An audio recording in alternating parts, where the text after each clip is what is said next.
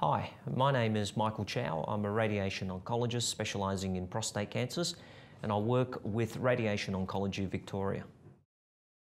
What is radiation therapy? Radiation therapy uses radiation to kill or damage cancer cells and to stop them from growing and multiplying. It is a localised treatment affecting only the body part where the radiation is directed. Although radiation can damage normal cells, they have the capacity to repair themselves.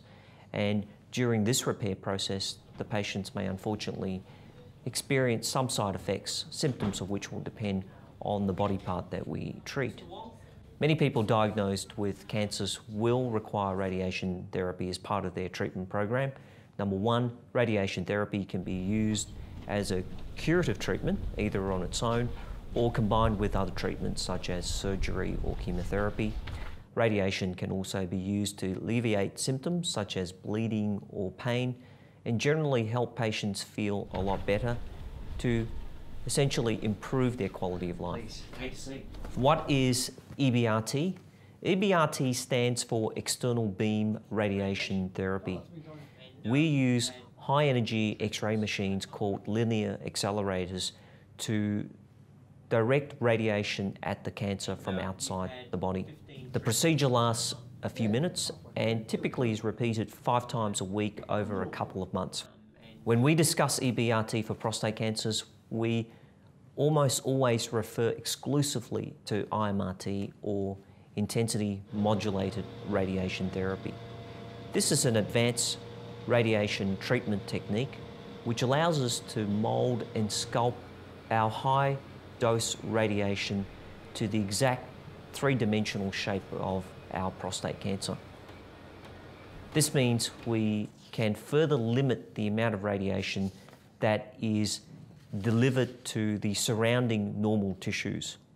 It has allowed us to escalate the amount of radiation that we can deliver to patients with prostate cancer and in some instances up to 15 and 20 to 20% compared to patients who had radiation over 10 years ago. IMRT is always delivered with IGRT or image guided radiation therapy. We use imaging to increase uh, the accuracy of cancer localization and achieve submillimeter precision targeting, which is essential for sophisticated treatment techniques such as IMRT. What is SpaceOAR? SpaceOAR stands for Space for Organs at Risk, which is the rectum in patients who are undergoing prostate radiation therapy.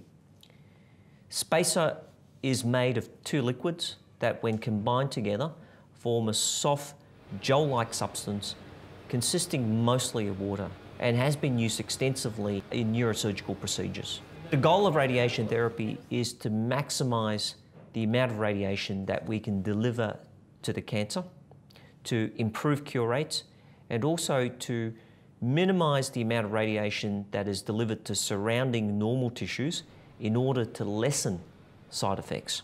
Unfortunately, the rectum and prostate are very close together and only naturally separated by a very small space. Due to their closeness, prostate radiation therapy can unfortunately accidentally damage the rectum. And damage to the rectum may cause symptoms such as bowel looseness, mucus discharge, bleeding from the back passage, pain, and potentially even non-healing ulcers on the inside of the rectum. How will SpaceOAR help me? SpaceOAR is injected into the space between the prostate and rectum under anaesthesia or a local sedation. The procedure takes about 10 to 20 minutes, has no long lasting effects, and patients can assume normal activities almost immediately. The key to SpaceOAR is the creation of a space of approximately one centimetre between the prostate and rectum. So it has the ability to move the rectum away from the prostate temporarily during radiation therapy, and this results in a reduction in radiation dose that is delivered to the rectum. This has been shown in many studies to either eliminate or markedly reduce the amount of damage that the rectum receives. SpaceOAR separates the prostate and rectum for about three months, providing protection during the course of the radiation therapy. It is then naturally absorbed after approximately six mm. months, well after the radiation has been completed. And finally, will I feel any discomfort or pain during or after the procedure? Typically, an anaesthetic is used to put the patient to sleep, so no discomfort or pain should be experienced during the procedure.